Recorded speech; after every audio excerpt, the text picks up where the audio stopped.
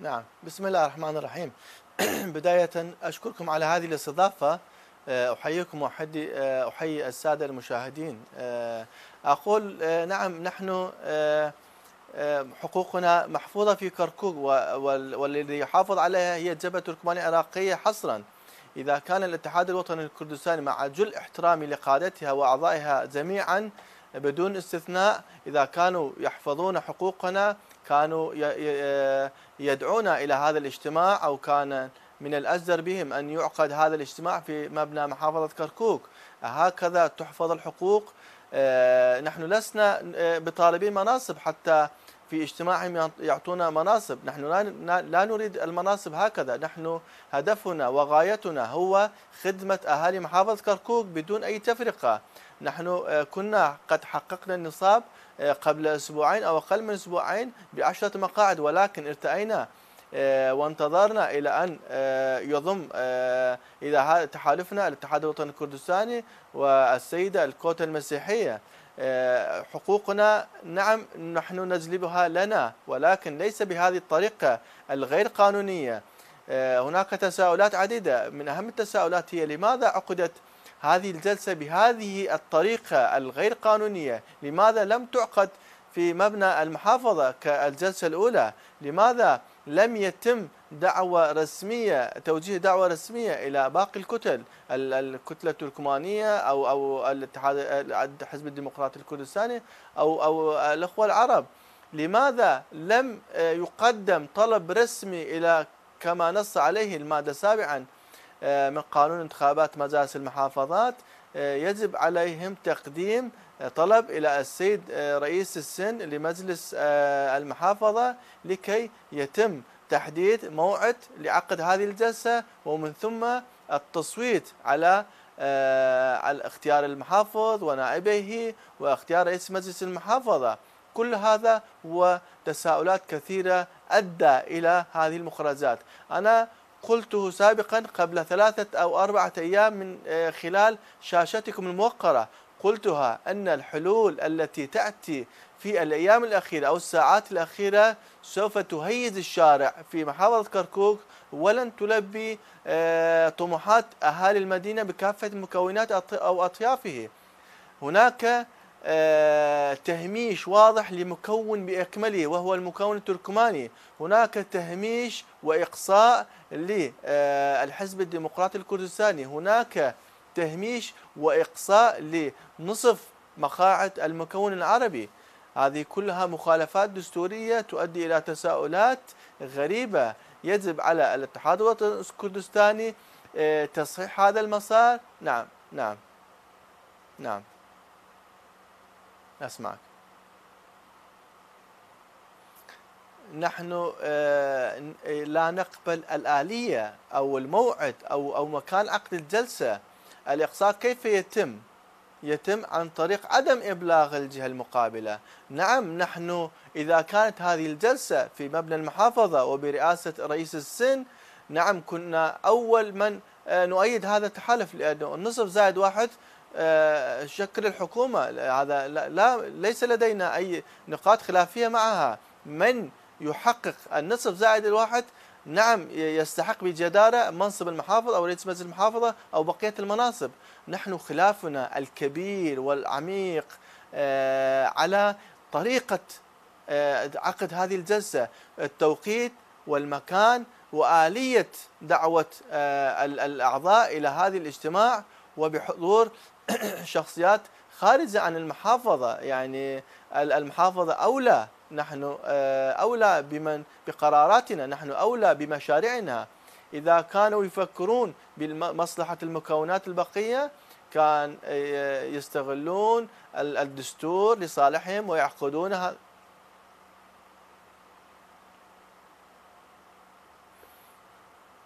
نصف الجالسين في في غرفة الانتخاب كانوا ليست من أهل كركوك. نعم عراقيين وأحزاب. نعم نتشرف بهم جميعا. ولكن كان الأولى عقد هذه الجلسة الجلسة الأولى لما تم عقدها في 11 سبعة في مبنى المجلس حضره آه، السيد أحمد الفتلاوي الدكتور أحمد الفتلاوي المنسق العام للتنسيق بين المحافظات والنواب العرب والتركمان والأكراد أيضا. آه، حضروا جلسه الجلسة الأولى التي بقيت مفتوحة. آه، هناك ضيوف كلهم كانوا من كركوك. نحن نرحب ببقية المحافظات. ولم يصدر من أي جهة آه، حضر الاجتماع الأول في سبعة آه، في 11 سبعة في مبنى المجلس. لم يصدر أي اعتراضات. لماذا؟ لأنه كانت قانونية دستورية من حيث الطريق طريقة الاجتماع من حيث مكان مكان الاجتماع. ولكن تعقد في نعم.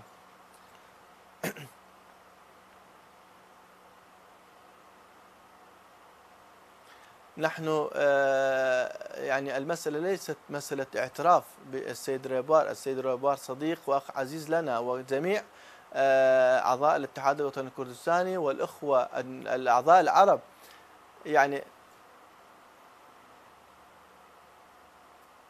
نعم إذا كنا نعترف بشخص يعني كمنصب المحافظ لم نقدم شكوى. اليوم تم تقديم شكوى رسمية من قبل السيد رئيس الجبهة التركمانية العراقية رئيس آه، قائمة جبهة التركمان العراق الموحد شكوى رسمية في بغداد إلى المحكمة الاتحادية. والأخوة العرب سيقدمون آه، شكوى رسمية. وأعتقد الأخوة في الحزب الديمقراطي الكردستاني لديهم نية بتقديم شكوى. اذا إذا كنا نعترف به لم نقدم شكوى لم نصدر بيانات ولم ننظم وقفات احتجاجية.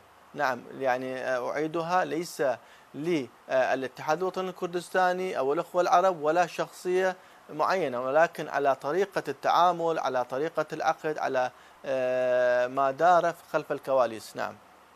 نعم. منذ اليوم الأول آه، تم عقد جلسات ومناقشات واجتماعات مستمرة مستفيضة جدا بين آه، الجهتين الجهة الأولى التي كانت تمثلت به آه، الجبهة التركمانية والحزب الديمقراطي الكردستاني وأغلب المكون العربي. نعم الكل كانوا راضين على مقترح الجبهة التركمانية بتدوير المنصب. سواء الأخوة في الاتحاد آه، في الحزب الديمقراطي الكردستاني أو الغالبية العظمى في الكتلة العربية كانوا راضين على هذا المقترح.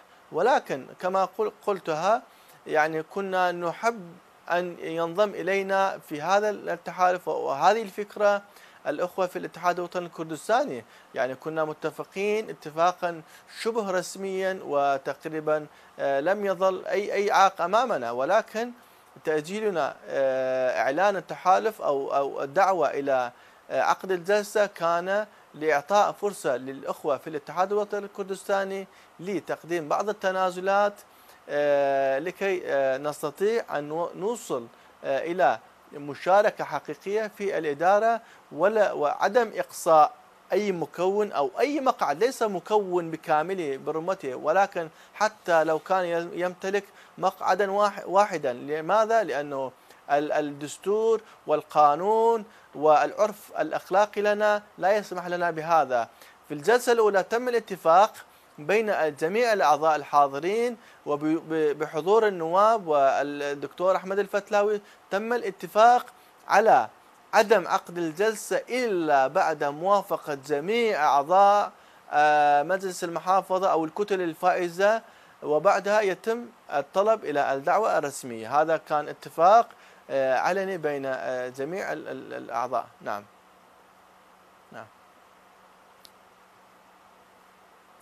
نعم السيد غريب عسكر هو نائب آه، تركماني ونتشرف به دائما. ولكن الجبهة التركمانية العراقية هي آه، صاحبة التفاوض في هذا.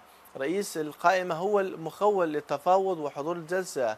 وأعضاء المجلس المنتخبين من قائمة جبهة تركمان العراق الموحد هم الذين آه، الأولى كانوا يحضرون هذا هذا الاجتماع. نحن ليس لدينا أي اعتراض على حضور السيد غريب عسكر التركماني لهذا الاجتماع لأنه نائب آه، تركماني ومن كركوك آه، وليس لدينا أي شيء معه. ولكن المفروض حضور السيد أحمد رمزي والسيدة سوسن عبد الواحد لهذا الاجتماع يتم دعوتهم كما تم دعوة بقية الزملاء أو الأخوة في الاجتماع. يعني هذا هذا الإشكال القانوني. يعني هم الذين يصوتون وليس السيد غريب عسكر أو السيد بافي الطالباني أو آه، السيد خالد شواني. هذولا يعني كانوا حاضرين آه، ونحن نتشرف بهم جميعا. ولكن الأولى حضور الأعضاء الذين يمكنهم التصويت أعضاء الفائزين فقط.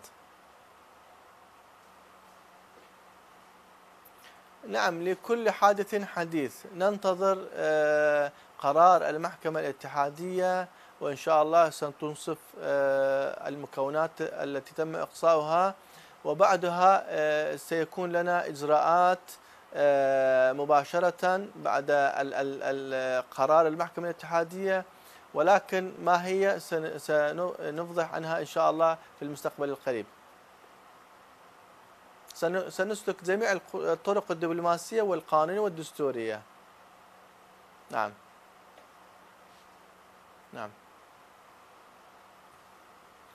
الإنصاف يكون عن طريق الدعوة إلى عقد جلسة انتخاب رئيس المجلس وانتخاب نوابه وانتخاب المحافظ ونوابه.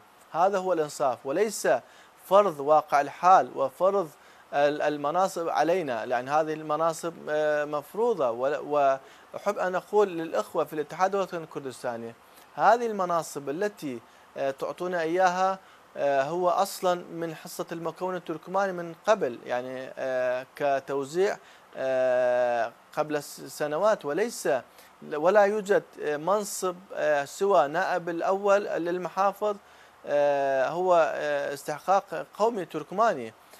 كنا نحب أن آه، يكون الجلسة هنا ويتم دعوتنا إلى هذه الجلسة. آه، وليس بالضرورة أن نصوت لصالحكم أو صالح مرشحكم. آه، هناك ديمقراطية في طريقة التصويت. لربما كان هناك مرشحين آخرين يتولي هذه المناصب. ولكن مع الأسف يعني لم يتم هذه الطريقة ونحن أعلناها يوم أمس عن طريق مؤتمر صحفي بأننا لا نريد أي مناصب ولا نعترف بأي مناصب إلا آه، بعد قرار المحكمة الاتحادية العليا.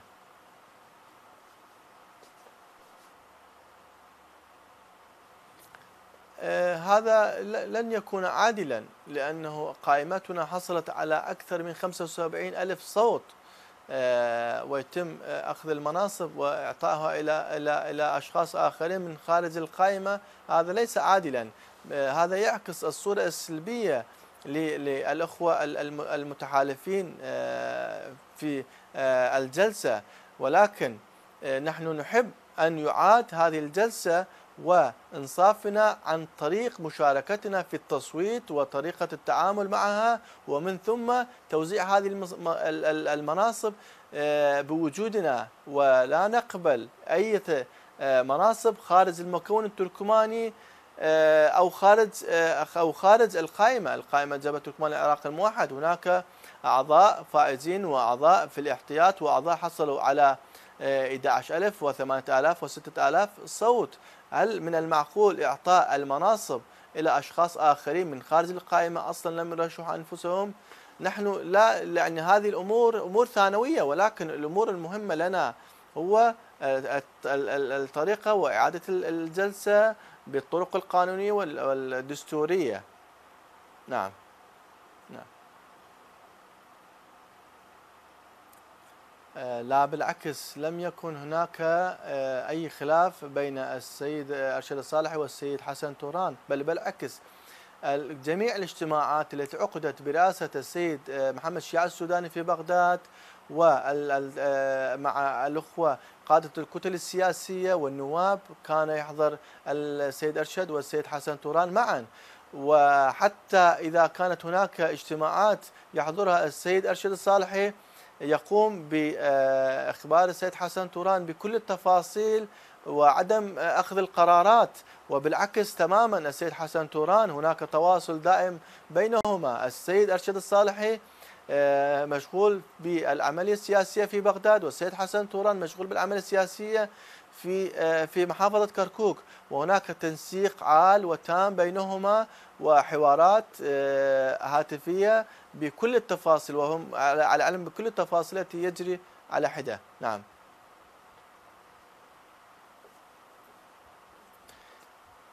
الدعوة ليست هكذا. القانون لا ينص على على إرسال الدعوة من خلال الواتساب. يعني هذه مشكلة. الدعوة تكون عن طريق ورقة رسمية مقدمة باليد إلى الرئيس السن ورئيس السن هو الذي هو المخول الوحيد بدعوة بقية الأعضاء وبقية آه، الكتل السياسية الفائزة. وليس عن طريق رسالة نصية في الدقائق أو الساعات الأخيرة وفي وفيه مكان آه، العاصمة بغداد وليس كركوك. هناك من لديه برامج آه، يقوم به. هناك من لديه أمور عامة يقوم به في المجلس أو خارج المجلس الدعوة ليست بهذه الطريقة. حتى لا وين تم إيصالها لنا هذه ليست بالدستورية أو واقعية أو قانونية. يعني يجب القانون ينص على من يشكل النصف زائدا واحد بتقديم طلب رسمي موقع من قبل الأطراف المتحالفة إلى آه، أو ورقة تحريرية إلى السيد رئيس مجلس آه، المحافظة الرئيس السن راكان سعيد الجبوري وعن طريق الرئيس السن يتم توزيعه بشكل تحريري وبكتاب رسمي إلى بقية الكتل السياسية بمدة يعني لا تقل عن عن ثلاثة أيام أو يومين لكي ليتسنى على هذه الكتل التحضير لحضور هذه الجلسة هذه الطرق القانونية والدستورية والواقعية والمنطقية.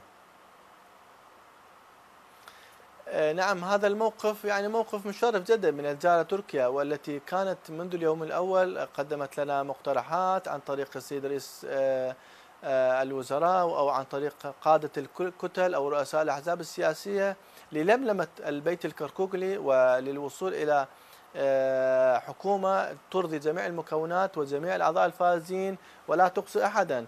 هذه الرسالة اليوم هي رسالة إلى الاتحاد الوطني الكردستاني لكي يعلمون مدى الخرق القانوني الذي حصل. آه، نحن نريد الاستناد إلى القانون، القانون يقول المادة رابعا من الماده 13 من قانون الانتخابات على التوزيع العادل والمتساوي وإشراك جميع المكونات بغض النظر عن المقاعد الفائزة بإدارة المحافظة وهذا النص واضح وصريح ولا يقبل الشك فيه. آه، وهذه الجلسة خالفته 100% ولم يشرك جميع المكونات آه، بل أقصت مكونات. آه، أعتقد هذه الرسالة ستصل إلى الأخوة في الاتحاد الوطني الكردستاني والسيد رئيس مجلس الوزراء والسيد بافل طالباني رئيس الاتحاد الوطني الكردستاني وإن شاء الله سيكون هناك خطوات إيجابية لحلحلة هذه الأزمة لحلحلة المشاكل التي عقبت هذه الجلسة. نعم.